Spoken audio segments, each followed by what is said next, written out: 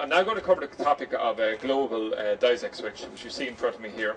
And the, the, when this would be used is to combine two satellite dishes. And in this particular example, we're going to work here. Uh, we have a Sky um, Zone 2 satellite dish, and we also have an Astra 1 um, uh, 80 centimeter dish. And what we're going to do is we're going to feed it into a single satellite receiver, so we can receive channels from both um, uh, dishes on a single box and flick between the two of them simply by change by the flick of a button. Okay. Now the alternative to using a DiSEqC switch uh, for somebody who doesn't have a DiSEqC enabled box uh, or who doesn't want to go through the, the, this laborious uh, process we're going to outlay here is you can use something like this, which is a manual A/B switch. So simply you connect the satellite to dish to one side, another satellite to the other side, and you simply flick over and back. Now this is ideal, it's simple, it's cheap. The difficulty is, of course, there's a manual effort required. You can't do it from your remote control, and this is why set it up on a DiSEqC system is much better. Okay, so um, in terms of equipment we're going to use here, we'll have the two satellite dishes. We'll have a Triax SR110, which is DiSEqC enabled, and we have a satellite screen or a, television screen here, and we also have uh, the DiSEqC thing itself. So what I'll actually do is it's it's designed for outdoor use. So what we do here is I'll just pull this apart, and you can see inside the electronics are here, and it's simply for for connecting the uh, the wires. You can simply pull it apart like this. Okay, now. Uh, what I've actually done here already in preparation for this, um, I've actually gone and I've already connected this. So we can see that the, the um, if we look here, uh, LNB-A is actually coming from the Sky dish.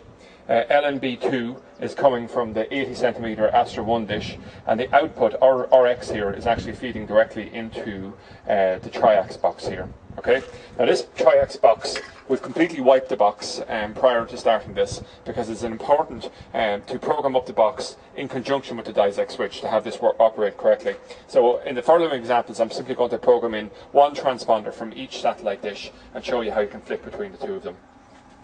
So I'm just going to pick up the Triax uh, remote control here and um, uh, we're into the menu here and what I'll do here now is I scroll down as far as the installation menu uh, click um, OK and enter the password which on a Triax box most um, satellite receivers simply four zeros.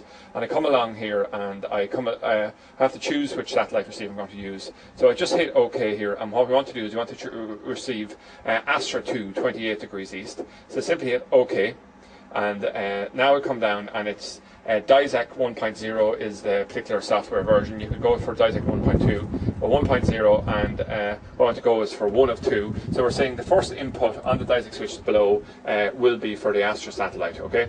Uh, the, the, Astra 2 satellites with effectively the Sky TV. So now I just come along and I hit the menu button uh, I exit out of there and I come into the TP scan and it's uh, it automatically falls here onto the Astra satellite which I've just gone to. And the search mode uh, scan mode is free so we only want free channels. And I simply come along here and I hit the uh, uh, OK button and we search. And what will happen here is it has picked up the BBCs okay so about 10 BBC channels have been picked up there.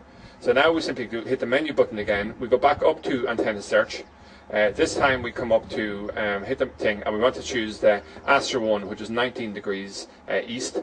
Uh, so we hit select and we'll see here automatically um, the Triax box, being the clever box that it is, has flicked us to DiSEqC position 2 uh, which we see here and we simply go OK by menuing out, coming down to the TP scan and now we can do a scan, let's say for one of the transponders, the first of 80 transponders listed for the Astra, Astra um, 1 satellite. So I do a search here so now what, what we do is we hit, simply hit the menu button and exit out, and all the way out, and now we can simply come along um, to, um, if we hit the, uh, the OK button here, we can bring up the menu, and we can see, if we go up to the top of the list here, and go OK, where we can look at BBC, which is coming in on the Astra 2 satellite, and if we scroll down through the channels, um, we can go to the top of the list, and then to the very end, and we can see we're on the Astra 1 and both are working automatically okay? And that, that's it's as simple as that. When we've done this program so we could have done full scans in both satellites and that would have worked um, um, worked and tuned in both satellites. And then simply by using our remote control we can flick between the two. Now from my experience if the satellite box has been programmed in prior to this um, it won't work because you have to actually tell it which input it's expecting which satellite feed to come from to get it to work properly. But that's it from beginning to end. Um, how to install a, a, a two-way DiSEqC switch uh, onto uh, a Triax SR110 box. But it's basically the same format for any uh, DiSEqC enabled box.